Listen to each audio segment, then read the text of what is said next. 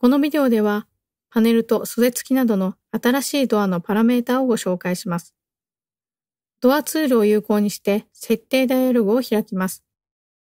両袖付きドアをヒンジドアから選択します。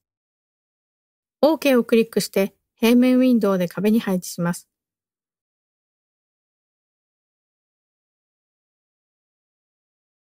ドアを選択して 3D ビューを開き、設定ダイアログを開きます。カスタム設定ダイアログでタブページセレクターをクリックし、扉と冊子寸法タブページを選択します。プレビューと1パネルで、陰線処理正面ビューを選択して実際に見てみましょう。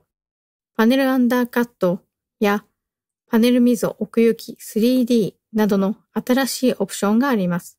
パネルアンダーカットに 40mm と入力します。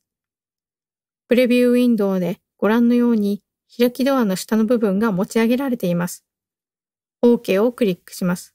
3D モデルにズームして結果を確認します。Undo と Redo ボタンを交互にクリックすると変更を確認できます。設定ダイアログに戻ってパネル溝奥行き 3D で 110mm と入力します。3D モデルでわかるように、この設定により開きドアの位置が変更されます。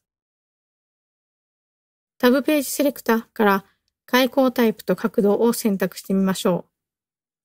新機能の一つが開口方向で、ここで扉と同じ、または扉と反対を選択することができます。この例では扉と同じオプションを選択します。袖1に片開き、袖2に片開き反転タイプを選びます。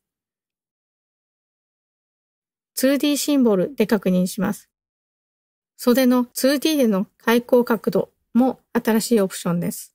2回45度と入力し、パネルを縮小して OK をクリックします。3D と平面ウィンドウで変更が確認できます。ダイヤモンド型のホットスポットを使って平面図で直接角度を変えることができます。